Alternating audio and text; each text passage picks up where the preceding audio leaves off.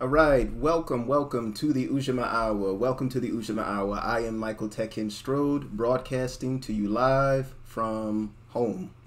Um, yes, uh, this is uh, Michael Tekin Strode on the Ujamaa Hour. Uh, and I should turn off that VPN because otherwise, you know, the stream quality is going to be reduced. Um, yes, so um, welcome, welcome. Um, Michael Tekin Strode with the Ujamaa Hour. Uh, here, I'm broadcasting live to you from uh, wherever my home is. Um, it's in Chicago, it's somewhere in the southeast. Uh, so I really thank you for being here this evening. Um, this is, uh, you know, there, there's a lot that's happening. It's an interesting time. It is always an interesting time. Um, and certainly, you know, we are nearing to election season, um, you know, in the States. So it will only get more interesting as things go.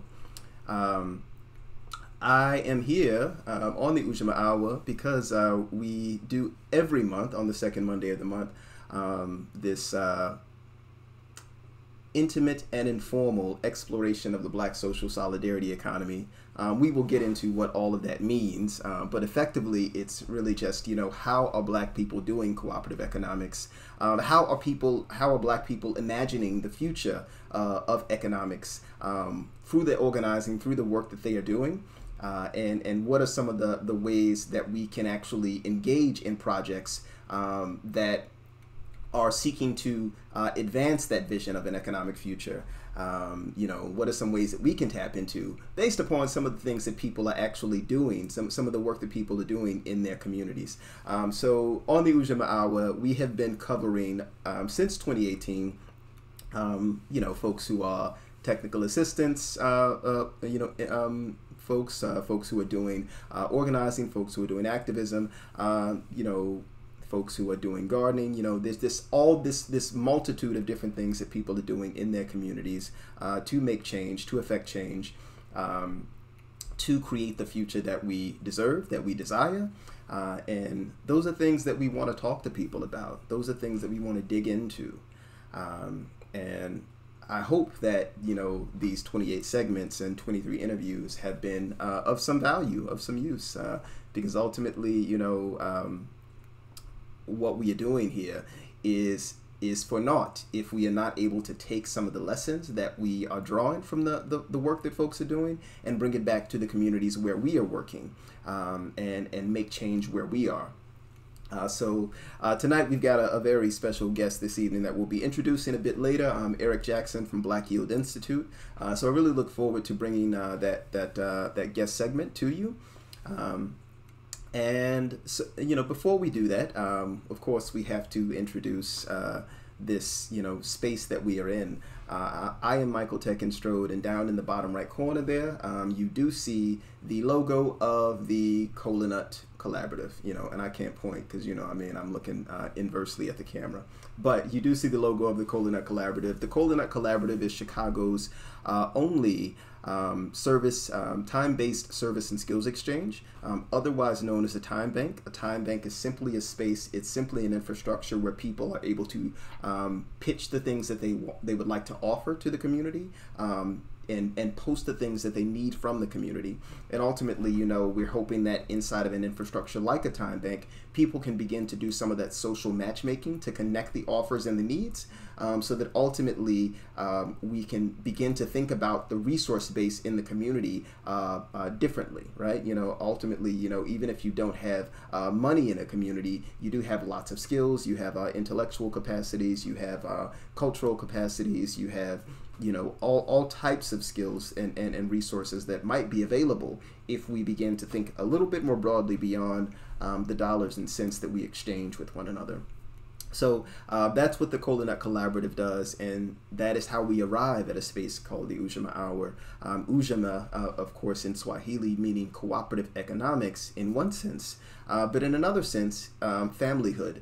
And so, if you go back and revisit um, our December 2018 episode with uh, Dr. Kamal Rashid, um, he talks about this notion of familyhood, and we discussed um, this notion of Ujamaa um, in the context of Julius Nyerere and, uh, and, and Tanzania, post-colonial Tanzania.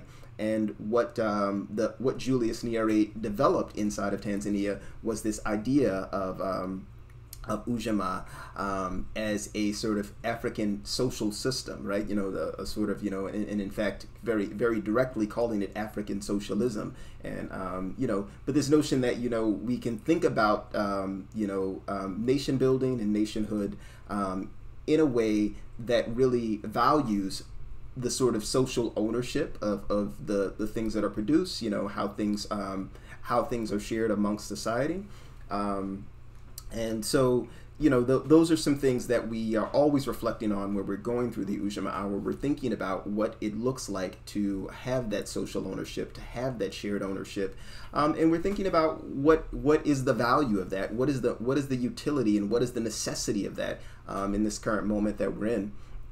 Um, so one of the things we're doing in uh, the Cooperation for Liberation Study and Working Group right now is uh, you um, when we when we talked last time, we were getting ready to engage the Ella Baker text um, uh, by Dr. Uh, Barbara Ransby. Um, we switched directions, and why did we switch directions? Um, there was some discussion within the, the, the, core team and within amongst some of the membership that hey we, we probably did not go through the full consensus discussion in order to get to the text that we arrived at so we went back and we, we reworked our census uh, process and voted on a new text. And, and then when we voted, um, the text that came to the top was Freedom Farmers Agricultural Resistance in the Black Freedom Movement by Dr. Monica M. White. Um, and that process is actually as important as the text itself, right? Um, the text itself is tremendously valuable and important. Never let me diminish anything about what uh, what um, Monica White has done here in this text. But the process was really about us coming to an agreement that um, about what our collective study was going to be over the next, you know, several months. Um, you know, usually we'll probably get through this text, you know, maybe in about um, maybe you know six months, five, five months, or something like that, just based upon you know our biweekly meeting schedule and some of the discussions that we have around the text. So um, we we've shifted over to Freedom Farmers. Um, so you can catch us again, um, you know, in November um, because we are currently on break. Um, so yeah, so so we we meet on alternating Sundays um, at 3 p.m. Um, and you know what we what we will be doing is we will be uh, doing what we have always done with these texts. We we we dig in, and that is November 1st. There we go, November 1st, uh, 3 p.m. Uh, to 6 p.m. So I'll talk about that at the end of the broadcast, but what we do on that uh, on, on those alternating Sundays is we sit down with the text, we really dig in, and we begin to um, think about how these elements in this text relate to the development of a worker cooperative. Um, we we draw lessons. We we we dig in, we dig through the history. We build collages, you know, to to kind of um, you know really embody the history that's in these texts. Because ultimately, again, you know, what we're doing in cooperation for liberation is we're we're studying the history of cooperatives because we are trying to chart the future of cooperatives in the work that we're doing. Um, so, you know, more more to come at the end of the broadcast. I'll, I'll tell you how to plug into that further. Um, but we are digging into Freedom Farmers, and you know I certainly would uh, encourage you to pick up a copy. Um, one of the other things that has happened um, in the uh, in the in the period between uh, when I was last broadcasting and now is the passing of Elandria Williams. Um, you know, and and it's the difficulty there is um, you never know how things are going to affect you. Um, you know, truthfully, Elandria and I knew one another in passing. You know, um, we had met, you know, face to face at the the New Economy Coalition annual member meeting in Asheville. Um, you know, maybe a, a, summer ago, right? Um, and then we had our first um, long conversation of about an hour um, the week before their passing, right? Um, and so I was very prepared after that conversation that like I was determined that I needed to interview Elandria on the Ujamaa Hour. I needed to get that interview on tape. I needed to archive that voice, right? And it's it's not like there's not a fair amount of tape already out there for Elandria, but you know there was more to tell. Um, there is more to tell, and so you know I in, in, in the, the, the, the depth of how this impacts me is um, you know I, I I talked about you know the passing of another friend of Co-op for Lib um, in the, earlier in the year. Um, Davine Stewart, you know, who who um, had also in, engaged with Co-op for Lib in the space, and again, you know, it's it's someone um, that you meet and you meet them for a, a, brief window of time and you don't get to appreciate their genius and you're you're sort of mourning for the opportunity to really dig into and understand the depth of that genius so um, you know i give it up um, for elandria williams um, I encourage you to um, go ahead and dig into that Elandria taught us hashtag um, and just really, you know, um, mine some of the wisdom um, that that uh, E has left behind. Um, and that is still present with us. and, and make sure, definitely, when the Beautiful Solutions text comes out, make sure you get that. that's going to be a very important one. So, really get into that Beautiful Solutions text, get into that Mapping Our Futures curriculum on the Highlander website, and you know that Elandria taught us hashtag. Dig into all three of those uh, resources, please. Um, one other thing that's um, happened here locally in Chicago is that um, WBEZ reported on hundreds of affordable voice. Um, hundreds of affordable uh, affordable housing units uh, going up for sale on the south side of Chicago at an auction. Um, and there being two private equity firms um, or two, you know, real estate firms that effectively bought up, you know, uh, those properties. And, you know, one of the things that I was reflecting on as that that uh, situation occurred, and as people were reflecting and, and, just kind of sharing their thoughts on um, on Facebook, you know, um, there's folks kind of throwing out action alerts and you know, and just trying to figure out, you know, what can we do? How can we, you know, challenge the sale? How can we stop the sale? Who do we need to kind of talk to? Um, one of the things that occurred to me was um, uh, about the Moms for Housing um, uh, fight in Oakland, and then also recently the the the Philly um, Philadelphia tent city fight. Right. Um, in both of those instances, um, at the end, there was a, a period of resistance where people were saying like you know you are not serving us so we're gonna make we're gonna make the noise we're gonna we're gonna be in your face we're going to we're going to challenge you uh, here on on having vacant properties that you're not putting pe- housing people within um, that are not serving as housing. And at the end of that period of resistance when there was a need for um, a conclusion you know um, there were community land trusts that were available there that could actually service as um, as as as places to take on that that housing and then you know be able to to build sort of build the infrastructure of sort of permanent affordability. And the challenge you know that I, I'm I'm I'm you know that that exists here in Chicago right um, is that that infrastructure does not exist. There is there is a Chicago Community Land Trust which has never functioned as a community land trust, right? You know, there is no community in that land trust. Um, it is the it is at the the behest of the mayor, um, whomever that is at any given point. Um, and then in terms of the other sort of land trust, in, in, the, there, there are no other sort of land trusts that are serving neighborhoods here. Um, and so um, even as as people are frustrated with this notion that affordable housing could go up for sale and there could be no um, no one who was there to kind of serve the purpose of permanent affordability, um, there's a need to figure out how to develop the, the new infrastructure that's going to be necessary to take on a task like taking on that affordable housing developing it you know actually getting it ready because some of that housing you know basically had just been let left to rot um, with people in them you know? I mean this this is what what sort of you know private real estate markets are doing. Um, uh, but we, we, we, we, there's a desperate need for sort of infrastructure that can actually serve that purpose um, to that end. And this is not necessarily, you know, um, me pretending that like I actually have a solution um, to that that situation. But this is just me actually saying that you know um, this is sort of one thing that needs to happen, right? Um, there's a on, online um, I've launched the social media group uh, Chicago Mutual Housing Network. You know, really inspired by um, POC Sustainable Housing Network um, in East Bay, um, NYC Cooperative Housing Exchange, and just some conversations that I've had with um, some of the, the the local you know co- housing cooperators here in the city.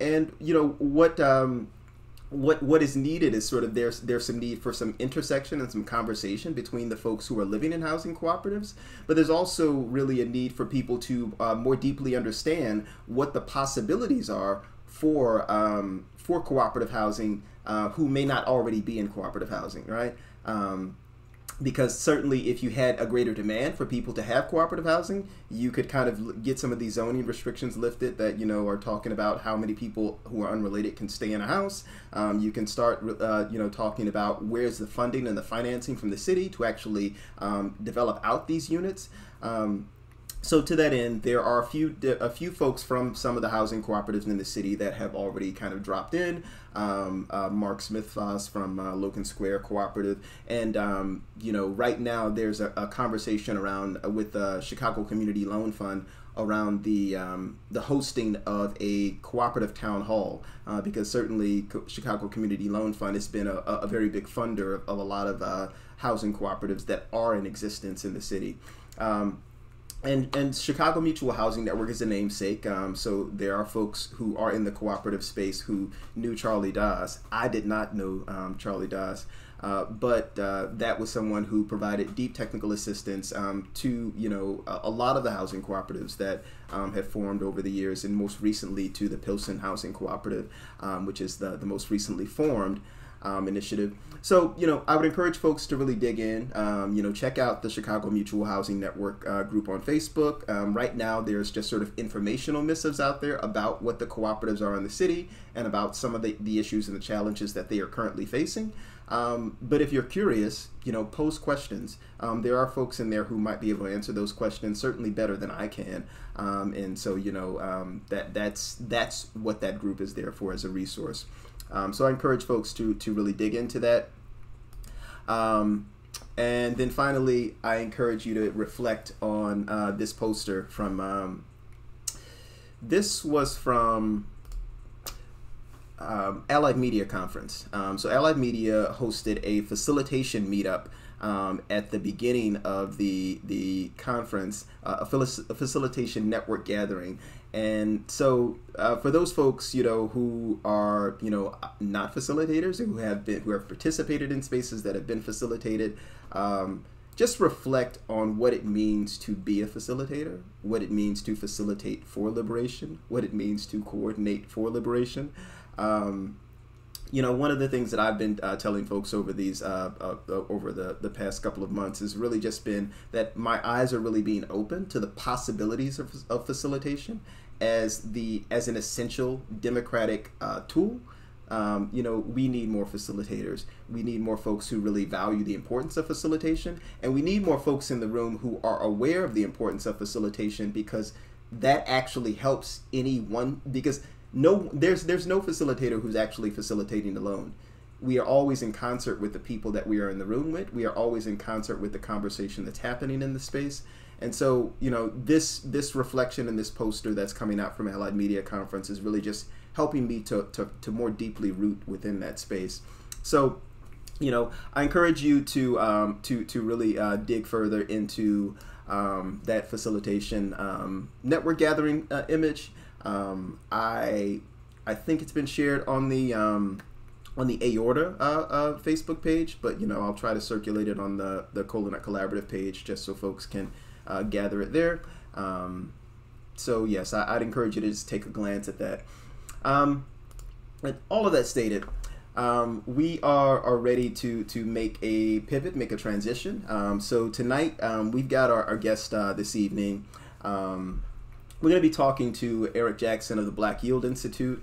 Um, Black Yield Institute is a Baltimore-based Pan-African power institution, um, you know, think tank, collective action network, um, addressing food apartheid collaboratively with black people and institutions in pursuit of black land and food sovereignty you know um, and so when i hear all of those terms when i hear all of that the, the, those those uh, the, the, that language um, i get excited right? I go back you know uh, to my black oak center for sustainable renewable living days and, and healthy food hub because uh, land and food sovereignty is where where this sort of all of this cooperative and solidarity economy work began for me and so I'm, I'm definitely very excited to uh, uh, speak with uh, the good brother this evening.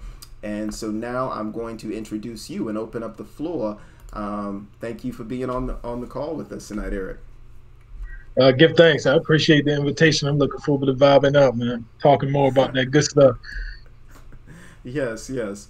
Um, so you know, I, I like to to open the floor um, uh, always with a, a question of a runway, right? Um, so we are here now um, at the Black Yield Institute, um, Pan African Power Institution, think tank, collection, act, a collective action network. Um, what's the runway that brings you up to the point that Black Yield Institute is something that you decide to co-found or to launch? Or Sure. Um, so I always start this story with um, one uh, paying homage to my grandmother, but also because it's a central part of my story. Uh, my grandmother um, is not the only, you know, uh, um, supporter, uh, rearer, if you will, in my life, but she's one who's central to this story. Um, she raised her children in uh, in the projects in South Baltimore and Cherry Hill, uh, a uh, historically black community.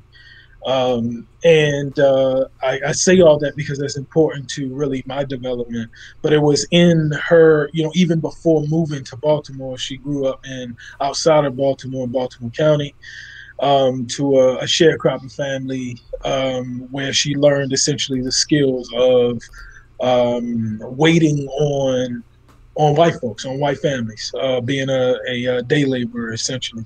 That's how she made her money to feed her children. In addition to um, the uh, um, you know welfare, you know social welfare, uh, all of the programs that made it possible for my mother and her siblings to eat. Um, but it was it was through those experiences and growing up in the community Cherry Hill that she raised her children to be extremely um, committed to place and committed to being black people, even if it was not spoken in those terms. Um, but also uh, about being proud of who you are and where you're from. And so I was uh, privileged to grow up poor and privileged to grow up in that context because it gave me kind of that understanding plus the place where i grew up in cherry hill a place that uh, if you were if you were in baltimore uh, you would probably be like well, why are you talking about cherry hill like that? Uh, and it's because it's very much uh, an insulated community on the other side of the river um, that was essentially meant for um, i believe the continued degradation and dehumanizing of black people. But just like african peoples have done forever uh, we take something that was meant not for our uh, our dismay and turn it into something that's amazing. And so growing up in that context i'm privileged i'm learning all this stuff. I love where i'm from. Uh, i love being black. All these things are great. And at 14 my grandmother passed. Uh, she was 69 years old. Interestingly enough the life expectancy in the community cherry hill today is 69.1 years right? So she lived up to what the statistician said she was going to do uh, because of the environment and so that I, that left uh, an emotional stain on me and so as i uh, went off to college and was learning some things um, what became an emotional stain was, uh, I believe, formed as uh, a um, a symbol or a fixture of my politicization. Um, it became clear to me that uh, even at that time, I didn't realize that I was certainly, um, I guess, hyper aware of health of aging and of disease. My grandmother wasn't, she's a central figure to the story, but she's not the only one. Uh, my mother, who is still around, uh, I grew up with her with uh, different illnesses, diabetes and, and heart disease, to name a few. My father, who since passed on, who had issues, and almost all of my uh, paternal um, and maternal grandparents passed on some from some diet related issue. So I'm becoming super conscious of that. I'm learning about what's going on uh, in the industrial food system, and my world is turned upside down at about 20 or 21. And I'm like, whoa, all of this food, all of this disease stuff is connected to food, it's connected to race, and it's about these power imbalances. I have to make a personal choice, but also uh, because it's a systemic issue, we have to do some things about it. And so um, I knew at that point that I was committed to this work. I went on to get further education, further experience as an organizer and realized that working at a public institution like the Baltimore City Health Department had a ceiling. There wasn't. Uh, there was a certain point that I was going to be uh, able to uh, um, to, to go in terms of organizing tactics, in terms of politics, in terms of political education. And so it was through that ceiling and through, uh, I think, a series of an amazing opportunities to meet folks around the country and build a network here in Baltimore that I was like, you know what, not only do I need to leave this place, but this budding uh, food movement in Baltimore is too white, it is too so called professional, and we got to do something about it. And so we started these conversations and house meetings for a few years, just trying to figure out what we were going to do and what our role was to centralize ourselves and uh, figure out how to make sure that uh, black people are fed well, that we have good food, and that um, and that we are at the helm of this work. And uh, that was essentially the the road, if you will, the the uh, the on ramp uh, the runway to this point of starting what is called today Black Yield Institute. Absolutely, absolutely. And um, you're dealing in program areas of urban agriculture, food co op development, political education, knowledge creation and research, action network building. Um, how did you all settle on those as being sort of the five areas of action that you all wanted to take, or the five areas of programming that you all wanted to address? Um, that's a very good question. Well, deep in our ethos at Black Yield Institute is radical accountability. A bunch of what uh, have come out of, um, or what have become our five initiative areas, came out of direct community conversations that were specifically around uh, what do we need to do to um, increase food availability and do it in a way that honors us as, as a community and as a people. And in particular, this is in Cherry Hill. So our um, food co-op development work and our uh, urban agriculture work came literally out of these community conversations where people said we want these two things plus what I uh, coded as um, intergenerational cooking. So we those particular pathways literally was what community said, and then we we dug a little deeper with some deeper listening. So we had these conversations.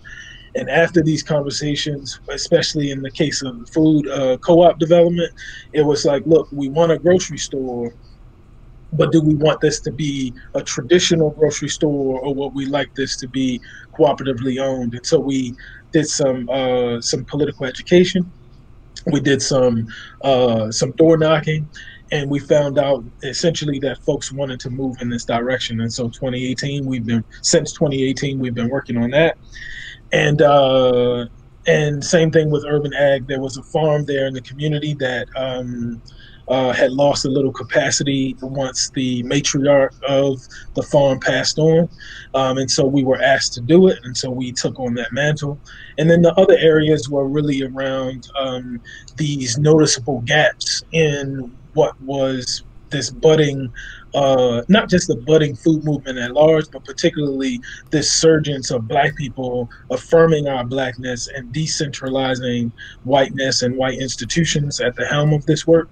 And so research was important because um, the only folks to this day that are doing research and telling the stories of uh, black and brown people on the ground are private institutions and public agencies uh, that's a problem right? You have other people telling our stories, researching us, and and and giving their analysis, and we're sitting back using their data to tell our story, right? That's a problem. Uh, and then the other areas, again, thinking about political education, you can't have movement without an action network, without coordination, and you can't have it without collective consciousness. And so, those uh, just through relationships and, and building relationships on the ground, it was clear that those were some ways that uh, we could contribute to movement work. Absolutely. And um, in terms of the ways that you, well, so, you know, I, I know that um, we had this initial uh, meeting within the Healthy Food Hub um, where we were visioning and where, you know, we, we, we were doing sort of this broad landscape. And then some of that political education is happening there. Um, you know, I'm going to veer off for a moment and just ask about what's the continuing political education look like uh, for either you know the core team that you're working with or the larger community um, as work sort of picks up pace and as like you know you have other projects that you're juggling? Yeah that's a that's actually a really good question. Actually nobody's ever asked me that question. Um, and i got an answer for you. Uh, um, so in terms of the the core team so again, deeply embedded in the ethos is continued political education. There is, uh, as Baba Fred Hampton talked about, uh, we've run the risk essentially of creating um, what he considered neo-colonialists uh, if we don't do political education, right? We got people who are ready to to, to uh, burn down Babylon, but will continue its practices. Is essentially how I take it, and so we are very clear that that's uh, it's, it's essential to what we do. So as a team, uh, we have a small team of uh, seven, including myself. Um, at every staff meeting, which is every two weeks, there is a segment etched out for us to do political education of some sort. Or, I mean, whether we're talking about some historic event uh, or we are uh, infusing um, a reading of something um, or, you know, sharing some concept uh, that um, that we should be, you know, grappling with as the work continues. Um, and so that's how we etch, etch it out. And then if I'm honest with you, there are these impromptu moments where I might personally, I might be inspired by something and I'm giving an audience of two or three folks and, and we just sitting down talking about the difference between uh, political theory and political action and how those things, you know, either there are synergies and sometimes some different things and bringing up uh, African independence movement in the 1950s and 60s and how the difference between how what people thought and what they needed to actually liberate and sustain liberation all the way to understanding the uh, the depths of maroon societies and their the utility of the tactics uh, that were used during those times to liberate and liber- re-liberate African, indigenous, and white ind- indentured servants. That's just to name a few. But in terms of the larger community, um, uh, we again wrap that into what we do. We have an official initiative area where we are uh, currently piloting a 15 week course, and we'll be hopefully, um, uh, you know, continuing to add courses as we continue to develop. Uh, not hopefully, we will be adding courses as we develop skill based courses. Uh, our flagship course that uh, we're piloting actually, um, we will make it public in January of 2021 um, but it is a Black Land and Food Sovereignty Praxis course that essentially infuses some, uh, I won't say theory, but thinking about um, thinking about movements, learning about movements, understanding power and oppression and how it shows up in terms of land and food, but then also developing some tactical organizing skills. Um, and so that's what we'll do with that particular course. Um, but then we also wrap political education into, I mean, as far as I'm concerned, that for those who are listening, part of this is political education, right? We might be asked to come and talk on a platform or share in a classroom. We add that as well. Um, but we also include that on our farm, right? And while we are uh, having people come out to so-called volunteer, we're also talking about different current events and or um, you know, grappling with concepts and operational definitions of ideas of food sovereignty and, and black land and food sovereignty. What does that look like? Understanding our own power and privilege and thinking about the pragmatic uh, uh, or pragmatism and um, and sovereignty, right? What does it actually look like to be in control? So it is as far as we're concerned, we're looking to stretch the idea of political education in so much that it can happen when we're playing a, a, a game of uh, spades, right? So that wherever the people are, we're engaging in palatable uh, exchange of ideas that help to sharpen uh, our analysis, build relationships, and help us continue our work. So that's kind of how I understand the work, and so that means that it can happen anywhere, any anywhere that people are ready to uh, engage. It's it's uh it's time. Absolutely. Um, so the broadcast um, initially began in the pilot space um, in 2018 with uh, 4 mm-hmm. concepts that we were interviewing and asking guests about. Um, it was cooperation, um, capital, economy, autonomy. Um, and, and really, you know, those were just like, I, I feel like those were maybe just four randomly chosen concepts, you know, just cooperation, thinking about like, you know, the sort of basic, you know, connecting glue of societies coming together for mutual interest, um, you know, capital, you know, being, you know, all, all, the sort of resources and things that, that folks, you know, draw upon, um, sort of economy, the things that are connecting people to place and, and, and one another, um, and then autonomy, you know, um, which ultimately is just, you know, I think what communities are trying to achieve. So I'm, I'm, I'm mentioning those to maybe connect with, um, you say land and food sovereignty, uh, maybe draw a map for us around what sovereignty is meaning there, and then you know connecting that to land and food and that that definition. Yeah, so I think you know for the listening audience, um, please don't get caught up in the jargon. Sovereignty just means control, right? And for us, uh, making the distinction between concept and operations, control for me operationally looks two ways it looks like being able to make decisions around uh, the availability of culturally appropriate, affordable, and healthy foods in our in our communities and where we are and where we uh, where we are expressing our humanity, wherever that is, where we live, worship, play. But it also uh, speaks to the usage of land in those very spaces as well. And so control looks like making decisions, but it also looks like being able to produce for yourself within those contexts, right? And so the reason why uh, I expand it that way, and that's my understanding, is because again, thinking about pragmatism, what is possible, and not just what is possible within confines, but I'm talking even in terms of our imagination, as we're moving toward the world that we want to see. Um, we have to be uh, clear that there is a transitional period right?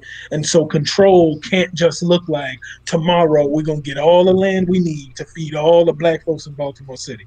I did uh, a quick mathematical uh, uh, analysis based on uh, you know uh, just some data that I had. Is it was uh, somewhere between 0.5 and 1.5 um, acres of land to feed one average human being and so I like let me split the difference. It's an acre, right?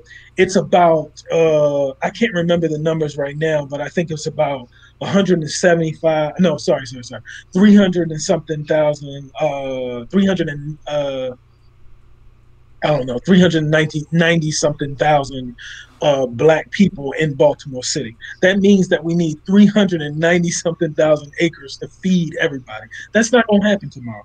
So sovereignty has to look like uh, something that is actually real. Otherwise, as Dr. King kind of uh, gave that cautionary tale, um, I'm not about to uh, walk nobody into a burning building, not because of integration uh, or from that context, but I don't want nobody to think that sovereignty looks like yeah we're going to control all of our food by 2050 well we gotta we gotta start planning in a different way and capital has to be a part of that that conversation and growing in our backyards and you know uh, building the fertility of soil.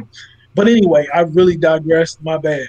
Um, but when we talk about sovereignty right and we're building in these concepts of food and land we're talking about again being able to be in control um, and not in a lustful sense, but being in control of what is uh, available for ourselves, for our families, for our people, um, in so much, and this is the vision that that I proselytize, um, in so much that we're connected to the ancestors that we come from, in the sense that we're not defining food by what Frito Lay told us is food right? Or uh, any other company. I ain't even trying to give them no marketing or uh, any any privileges, but any company would say is food. But being able to define what is our food and uh, engage in our own food cultures, that's what sovereignty looks like, right? Being able to um,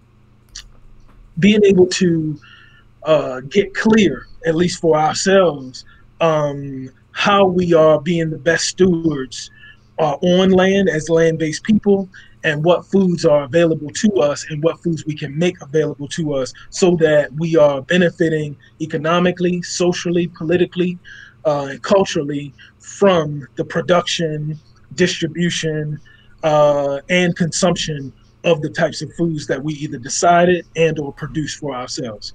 So that that is for me, if I had to give a nutshell what sovereignty is, it is being able to decide for yourself, just like the so-called American dream has has uh, has been afforded or at least uh, uh, shared that we're supposed to be able to make decisions for ourselves. Uh, black folks are not uh, afforded the opportunity to do so. And so we're talking about a movement that humanizes us by connecting us and reconnecting us with the very uh, physical ecosystems, social ecosystems that we come from, and that allows us the opportunity to be fully human that's that's what sovereignty looks like and that's what all of the work that we talked about those five initiative areas are um, are designed to do. And any project that comes out of that, it's about connecting people to ourselves, connecting us to our histories and the contemporary context, connecting us and being better stewards of the world, um, and uh, essentially um, being able to, uh, like I said, be uh, be fully human in the ways that we decide, not the way that white institutions have said that we need to be, um, but in, in very uh, real ways, being able to uh, engage in the world collectively and independently in ways that make sense for us. Absolutely. Yeah, um, you know, at, at, the Healthy Food Hub, we used to pause, um, and you know, and, and and at the in the middle of the hub, you know, one we always used to say our mission statement at the hub. Uh, you know, our, our, mission is to build a just, holistic local food system to transform urban to rural communities through education, entrepreneurship, and access to healthy, affordable food burned in my brain. Mm-hmm. You know, I mean, over ten years, I can't let it go. Um, but you know, the other thing we always used to say was, you know, own the pipeline. You know, production, aggregation, distribution. You know, we want to own the pipeline. You know, um, because ultimately that that's what gives. You know, that that's the democratic food system that we're seeking. You know, it's not you know sure. 700 choices at the point of consumption. It's all the way sure. along the, the, line. You know, so. Yeah.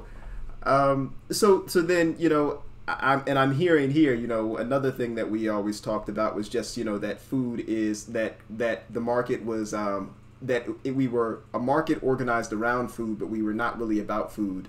So, um, you know, I mean, maybe talk as uh, talk about, you know, you've talked a little bit about food as sort of a, a gateway and a pathway to, you know, this Absolutely. other world and this other vision Absolutely. and this other imagination. So I'm, I'm just Absolutely. giving you some room to go there. What's this? What's the food, the gateway that you're that you're you're angling towards?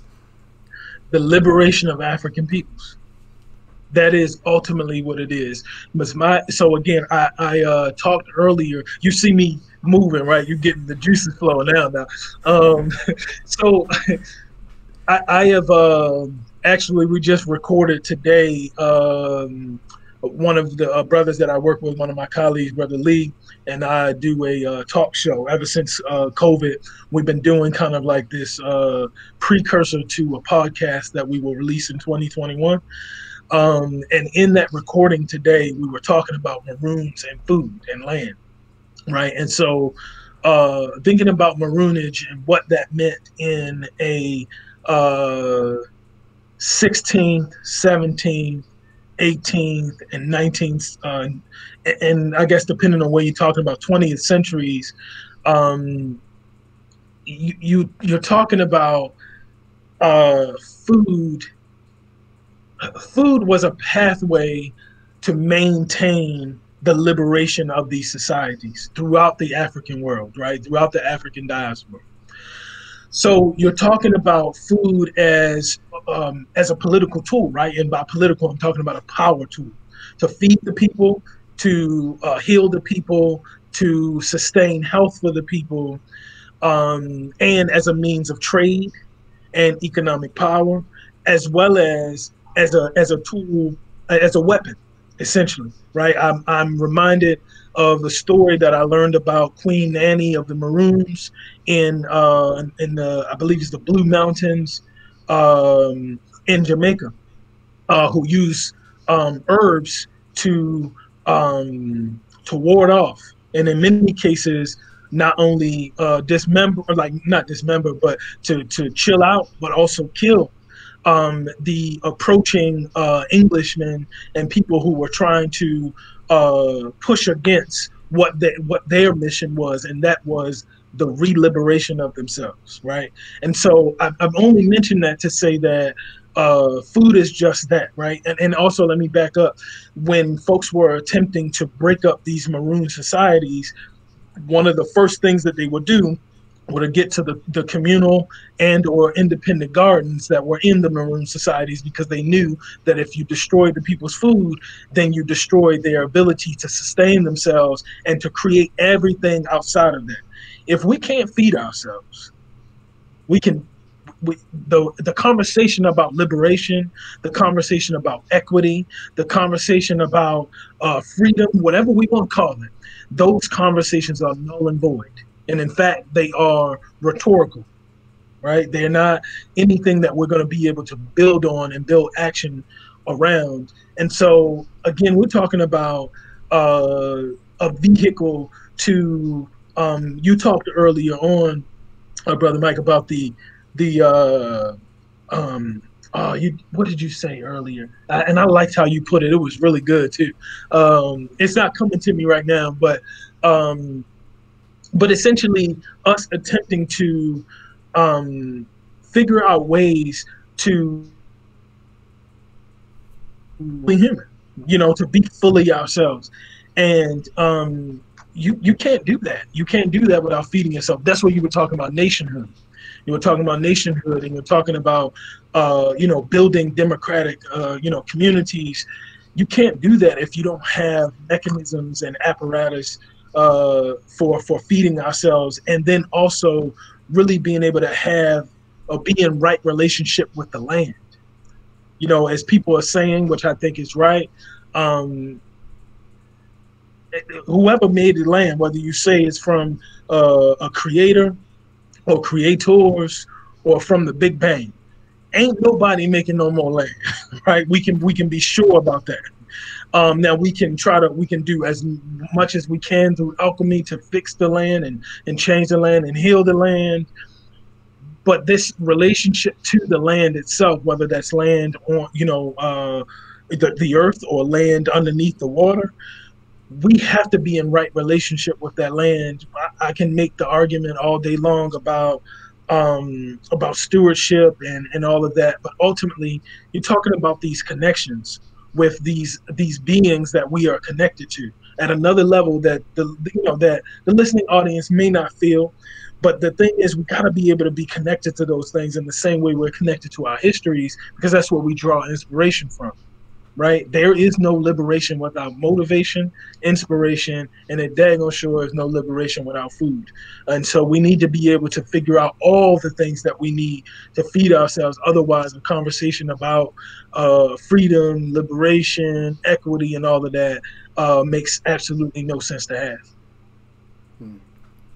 Yeah, you know, yeah, um, your your the the discussion around uh, land um, is reminding me of um, I want to say this was, I think this was on the 1619 podcast. I'm, I'm not sure, but um, if not, it was one of the many articles I was reading, you know. But effectively, um, there was um, someone who was who was going back and visiting some of their family um, in the South, and um, one of the elders, you know, they were talking about one of the elders who was like 96 years old, um, and they were talking about, they were describing um, how he would get on the tractor and how he would dismount from the tractor while it was moving. Like, you know, I mean, he's like hopping off of this tractor like, you know, he's a teenager.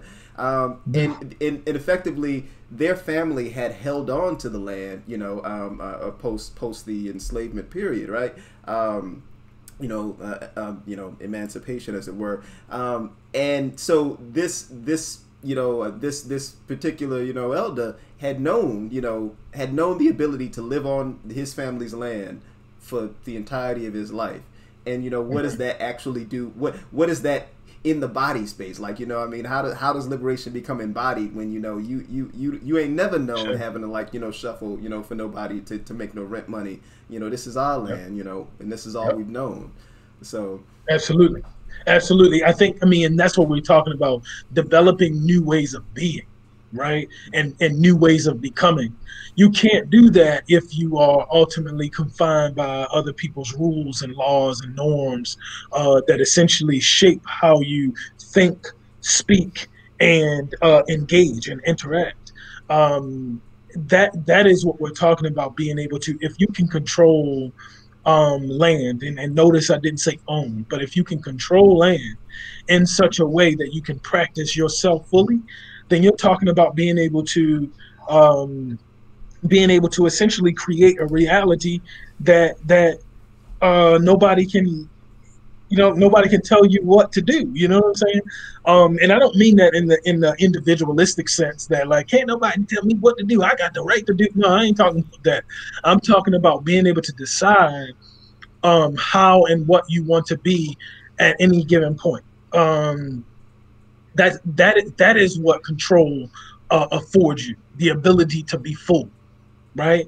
And and so i think you know in in in celebrating that elder you know uh i imagine never feeling like you have to have the stress like you said of shucking and jiving for somebody else when you always know that you got it and so when I think about being on land and thinking about producing our own food, we also are talking about raising and rearing next generation children that don't have to do that, right? Or know the importance of being able to produce your own food, whether it's in a small family garden for uh, sustenance, um, or uh, or being able to you know produce to be to share with your neighbors or to commercially sell it, right? Either way, you're talking about leaning on these ancient practices that we have been uh, uh, precluded from following because of um, either physical and other uh, impediments or through some socialization process that's not our own. It's foreign, right? Um, I, I, think about it. Uh, somebody commented about putting choice back in our body. That's the that's the other thing too. You think about the psychological impacts of other people controlling our food environments, and I talk about this often. Of one of the impacts of food apartheid, the immaterial stuff. Where, it's easy to talk about not having a grocery store, uh, uh, uh carryouts inundation of, of unhealthy foods all of those things are easy to point to um, and even with that, we peel back and think about, you know, uh, potholes and all the other stuff that you may not think about that that also comes with food apartheid. But then also uh, thinking about immaterial things like the uh, premature death of elders. And in our traditions, elders are the culture keepers and the culture givers, the story sharers. If they pass prematurely, who's telling the stories? Is it the Kardashians? right? Is it is it is it? And I don't mean to give them no promotion, uh, but is it who who's telling the stories? What there are people, as Dr. Marimba Ani talks about, uh, culture is the uh, immune system of a people. If we don't have that immune system, it breaks down, right? You will be destroyed without an immune system. You can't fight off anything. So we're gonna get culture from somewhere and, and in many ways we are uh, not able to follow that which we come from because our culture givers are gone or we have developed uh, cognition that um, we don't have to listen to them the elders right? But on the other side of that man what you also see is um, uh, I was going somewhere. Oh my goodness, it's late. I'm sorry. Uh, Choice in the body, um, liberated body, land. Yeah, yeah, that's what it was. Thank you, thank you. Um, thinking about psychology, right? When I was growing up, the physiological response of hunger, I immediately thought about getting food, and which all people do. But if you're not able to embody choice within your body or being able to uh, embody sovereignty, what you're relegated to if, if you grew up in a context like me. I grew up in the Cherry Hill community that I uh, um, described earlier. I thought about going to the refrigerator, and largely in the refrigerator were foods that were either prepared or stuff you can pop in the uh, in the oven um, that my mother worked her tail off to make sure we had that we got from a grocery store, or it meant uh, going to call somebody and ordering food again taking away your uh, choice and somebody else feeding you, or going to the shopping center uh, and going to purchase some food from someone who's not from our community that is extracting wealth. So, and I'm not talking about this, uh, you know, um, I'm not speaking as if we're talking about anything pure because I just ordered food earlier. It was Ethiopian food, granted, but still, you know, it's black, you know, supporting a black business. But what I guess what I'm saying is we think about uh, the, the, the deeper impacts and implications on uh, not being able to control our food environments. And so that's codified through social policy, essentially, where people are um, perpetuating that over time. And then you have generations of people who never think about cooking a meal. You know, cooking looks like microwaving, right? Or uh, generations of people who don't see it as a problem that we're spending uh, 30% of our food dollars uh, in our community, but not with our community, with our people. It doesn't dawn on us, right? So a part of our work is about denormalizing food apartheid in so much that we peel it back and people understand, like, oh, this is what we are we this is what we're trying to kind of entrapped in and this is the economic and and psychological and other impacts of not being in control of our own destinies denormalizing food apartheid. Um, you know that that's that's uh, that's a heavy punctuation mark, um, and you know I want to.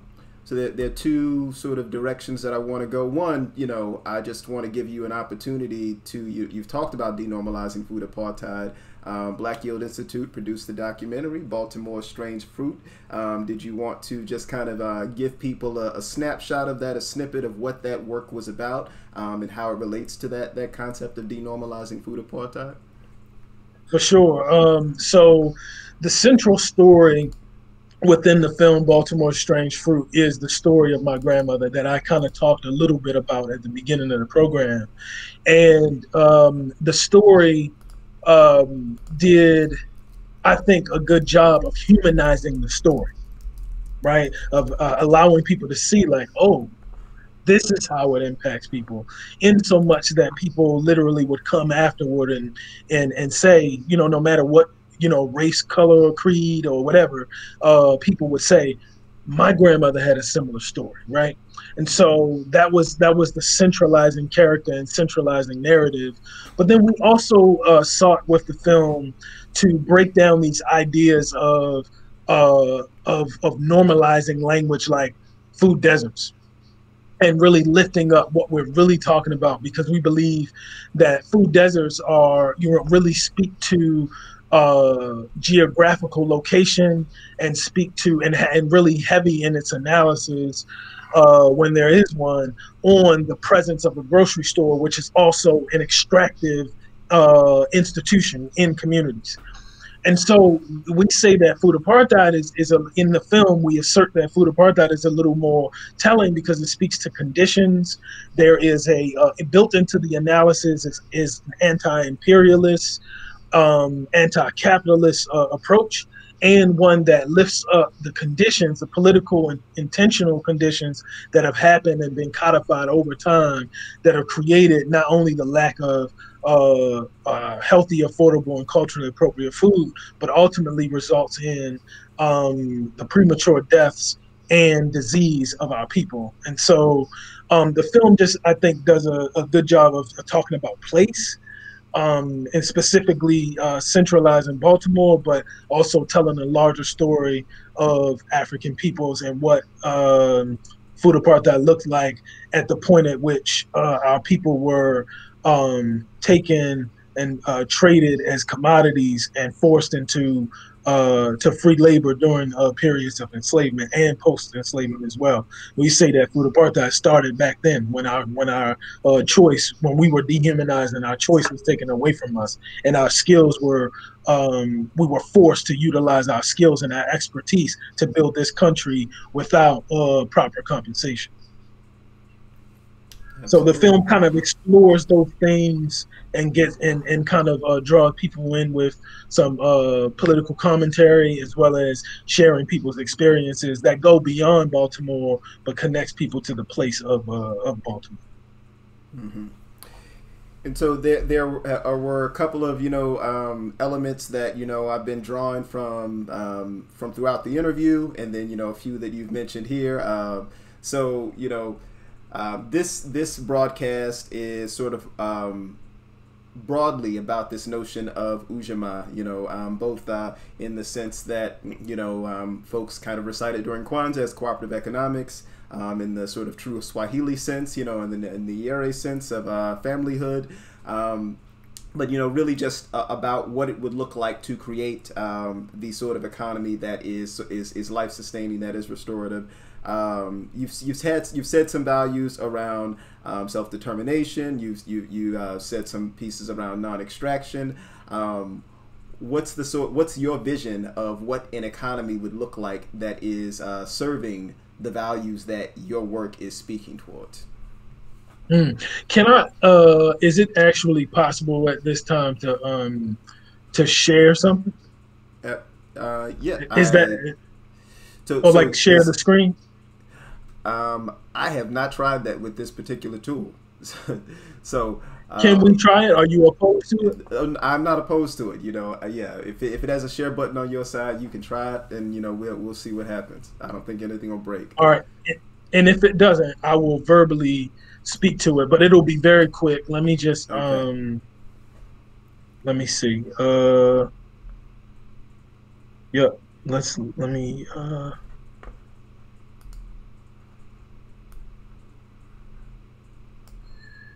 Can you can you see this? Uh, let's see.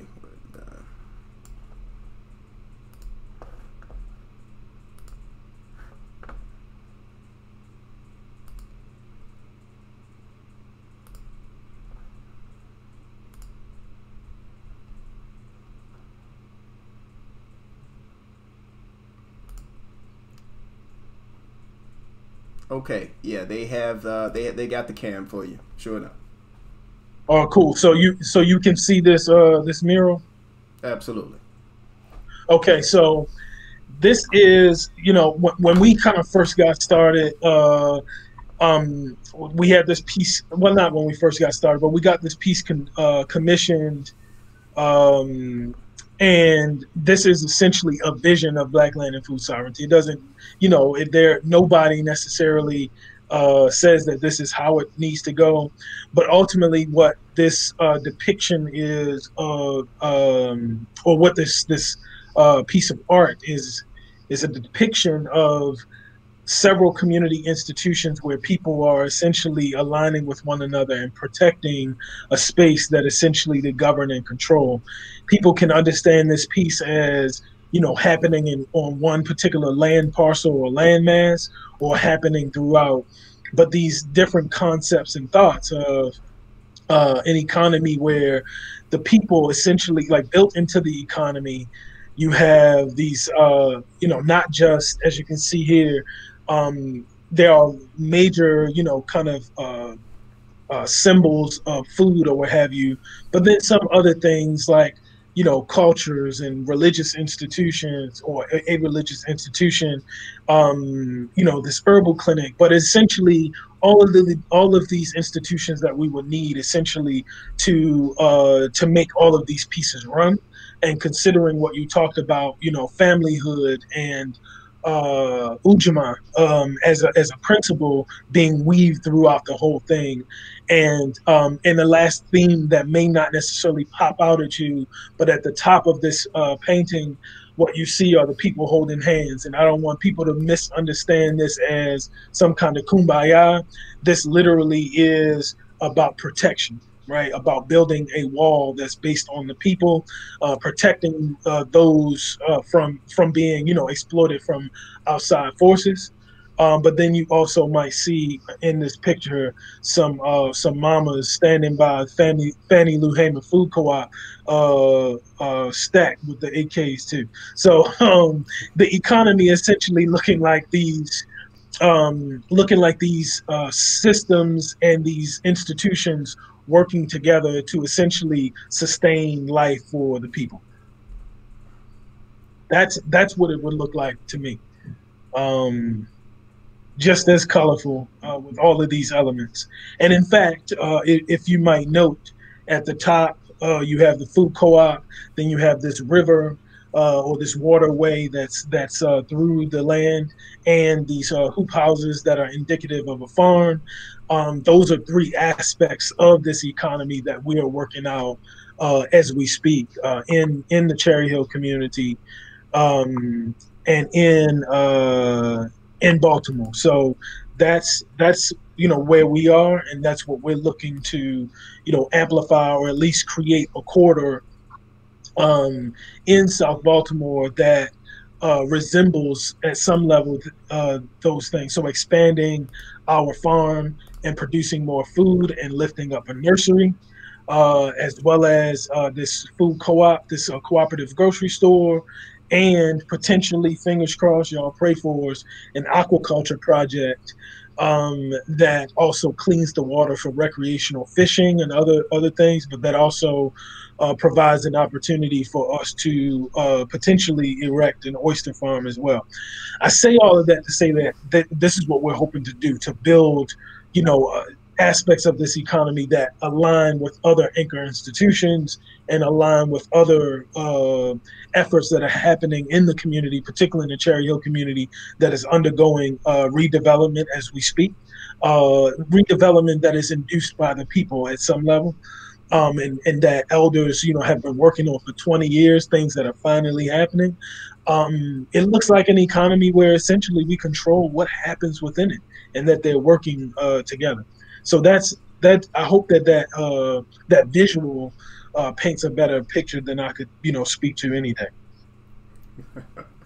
Uh, yes, I, I, think that was uh, deeply illust- illustrative, and um, you know, certainly, uh, and we got an opportunity to test some features of this tool that I didn't know was showing up. So that was fantastic, you know. Um, yeah. So, uh, so one thing I want to do is just make sure that folks know. Um, uh, www.blackyieldinstitute.org. Um, that's the website, uh, Black Yield Institute. So make sure that you check that out. Um, www.blackyieldinstitute.org. Um, I will make sure that I drop that in the comments where you all have access to it. Um, and and while I'm I'm fetching that up, um, are there what what are the supports that are needed? What are what are ways that folks you know if, if folks want to support, if folks want to plug in, um, what does Black Yield Institute need now? Sure. Um, so first, what I would say is I think that um, we talked about the film briefly. Uh, if if folks are interested in joining the work, deep relationship building is the way that you do that. Uh, being around, volunteering at our farm is an easy way. Getting registered, um, and and you can do that by connecting with us through our website.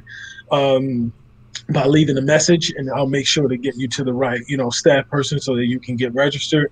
But if folks, no matter who you are, however you identify racially or otherwise, whatever your politics are, um, what we could, how you could be of support of our you know movement building is by learning more about what we do and learning from our perspectives and you can do that by staying connected and staying tuned uh, easy way is to follow us on YouTube, follow us on Instagram to kind of know what's happening, become a part of the work uh, through volunteerism, and also through, uh, uh well, I would say deep volunteerism that we have through a special program that we have called PALS. These are program action leaders folks that uh, advise and support our initiatives um, at, at on the ground.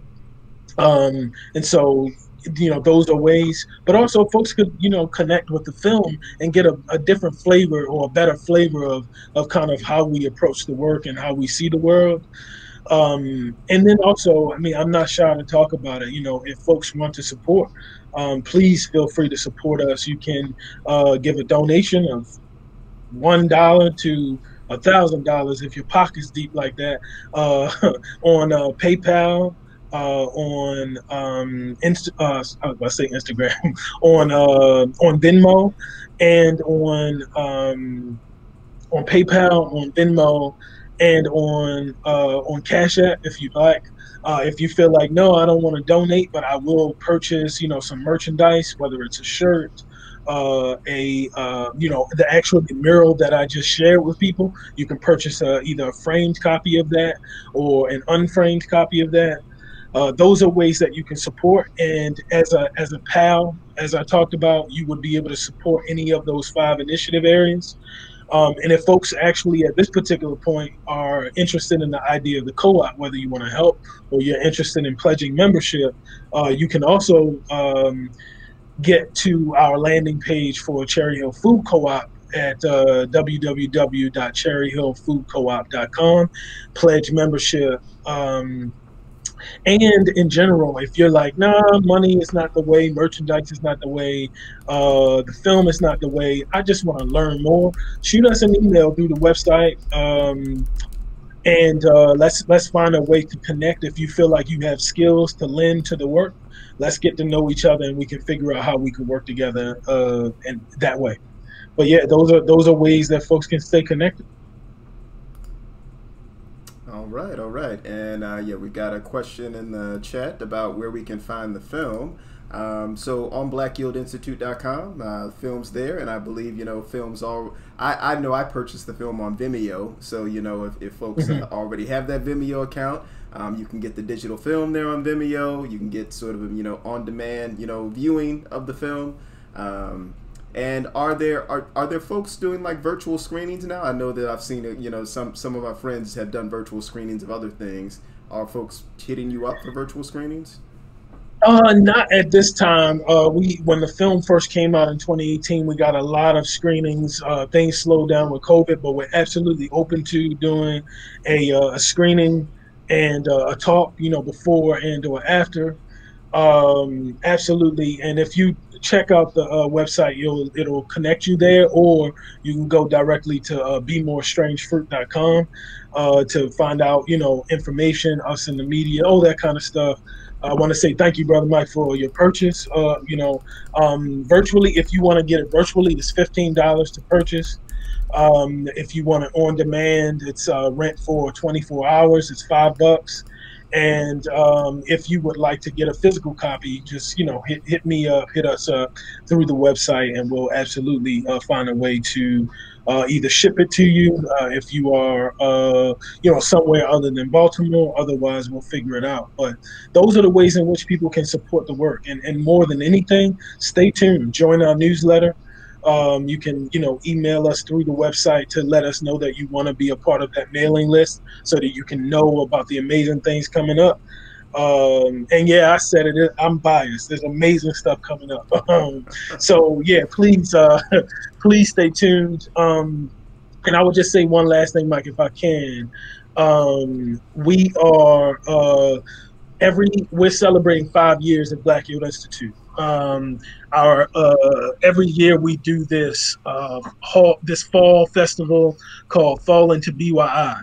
Um, and Fall into BYI this year will be, uh, for the most part, the week from uh, Friday, October 30th to Friday, November 6th, which is the culminating event.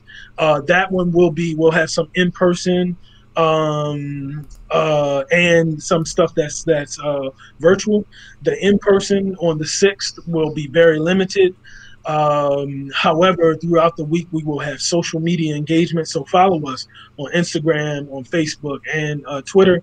And for all of those accounts, it's uh, at Black Yield or Facebook Black Yield Institute. Um, and you'll get all of the engagements then. But also, uh, as I said, if you get on our newsletter, you'll be able to see some of the exclusive things that are happening uh, with our work. We are looking to uh, expand um, our palates and what it looks like to, to not only denormalize food apartheid, but normalize everyday struggle to resist it. And that's what we've aimed our work to do. So, in those very small ways, uh, you can see how we are uh, doing that, even if you're not local to uh, Baltimore. This is a Pan African work. Uh, doesn't matter where you are, where you're listening to this from. Uh, we are producing um, what we believe are potential models for us to learn from. Uh, all of us, including us, the ones that are doing it in the day to day, we're learning from it and we're figuring out ways for us to uh, continue to utilize um, what we're those learnings toward uh, liberation. Excellent, excellent. Um, you know, well, I mean, this this has been you know a sort of a, a, stellar stellar time on, on, you know on the on the you know interview segment with you. I really appreciate you know you joining us this evening. Um, is there a, a, sort of favorite, you know, last closing thought that maybe you all have closed a meeting with, or you know, you you just kind of punctuate your work with, you know, that, that you'd like to to drop on folks' heads at the moment? Yes, two things. Whoever controls the food controls the people. Keep the flame. Any Whoever blessings. controls the food controls the people. Yes, keep the flame. Uh, much obliged, uh, you know, um, brother Eric. You know, really appreciate uh, you being on the call this evening, and uh, I'll, I'll, I'll, bid you good night. Thank you, good brother. Uh, and when we have our podcast, I'll make sure uh, that we, we give an invitation. I, I really love this vibe, even though I won't host it. Uh, I'll make sure, man. This was this was really strong, and I appreciate your insights, and really am grateful for the opportunity to to join the amazing platform. Thank you. Thank you very much. Thank you. All right, keep the flame. Many blessings, bro. Peace. All right, be well. Peace. All right, folks. Whew. Um, that was that was fire. That was um that was tonight's Ujamaa hour, and you know um I don't like how my camera's showing here, um, so I'm not gonna worry about it too much. Um, this is cooperation for liberation. Um, so you know make sure that you you, you tune in. Um, November 1st is when uh, Cooperation for Liberation Study and Working Group will be back in session. Um, please make sure that you are subscribed to the mailing list, which I will put into the chat um, here um, on groups.io. Um, Cooperation for Liberation Study and Working Group is a space where we are committed to the study of, um, of these models. Um, you know, models such as the, the one from Black Yield Institute, uh, models such as uh, you know uh, Freedom Farms and Fannie Lou Hamer, models such as uh, Young Negro Cooperative League and uh, Ella Baker, um, you know, and, and, all of the sort of radical history of, of cooperation that exists in the Black radical tradition. Um, those are the things that we study. Those are the things we dig into, uh, because ultimately we are trying to chart again the future of of of you know Black cooperatives um, here here in Chicago. You know, um, through the development of a worker cooperative, that is a key part of our mission. Um, so we invite you to study with us uh, 3 to 6 p.m. Um, we, we meet biweekly on Sundays, and the next meeting is November 1st. Um, check that out. Um, make sure that you follow the Kola Nut Collaborative on Facebook. Um, so, you know, hopefully that you're, you're seeing the stream through the Kola Nut Collaborative page. If you have not liked the page, like the page.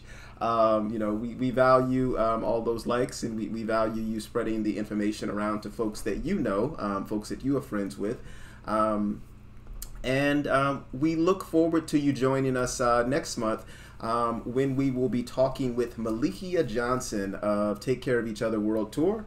Um, so our November segment is going to be Malikia Johnson, um, and Malikia has done actually uh, uh, we, we we we embarked on a very similar path right? Um, both of us wanted to study you know what people were doing in, in the realm of cooperatives and and in, in building a more cooperative world. Um, malikia did that through the take care of each other world tour. Um, i am doing that on the monthly uh, with, through the ujamaa hour um, and then in December, we close out the year with Alita Ture of Parable of the Sower Intentional Community Cooperative.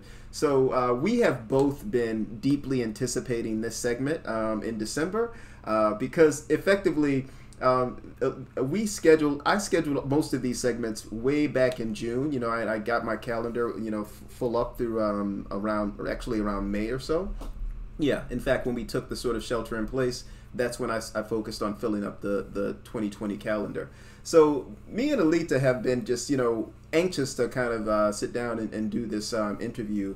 Um, and, and, you know, we've been waiting basically for seven months, you know, to kind of get it lined up.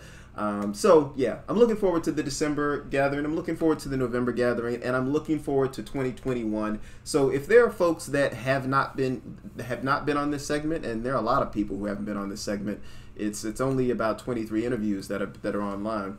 Um, then you you want to make sure that you just recommend. Uh, let us know who we should be talking to, um, who we have not talked to.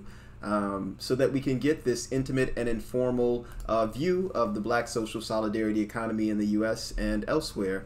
Um, and so with that said, uh, it is uh, now 20 minutes past our, our normal 8:30 close, and you know I'm gonna go get me uh, some um, elderberry cider or something or other, some kombucha, whatever's in this fridge.